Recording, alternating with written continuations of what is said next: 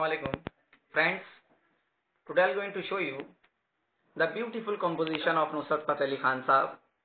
सांसों की माला पे सिमरू में पी का नाम beautiful composition please hear this song carefully